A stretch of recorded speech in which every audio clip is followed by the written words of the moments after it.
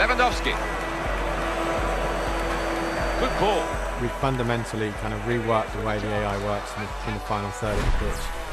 Um, you know, I think this really became highlighted last year when we introduced tactical defending in the fact that by taking away that sort of cruise missile of the, of the defenders coming in to take away the ball, actually gave you a little bit more time on the ball. At times the game became quite static.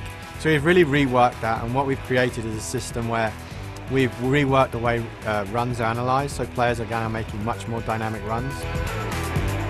They're also using um, you know, curve runs to open up passing lanes, uh, to open up space to take the ball in stride. We've got the, we've got players now curving and changing their runs to make sure that they stay on side. Bayern Munich in with a chance.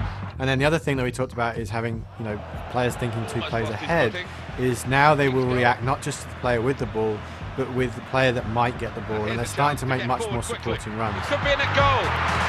Ultimately, what does this mean? Is it means that there's way more attacking options. It means for much more fluidity moving forward. And what we're finding is there's so many now different ways to score.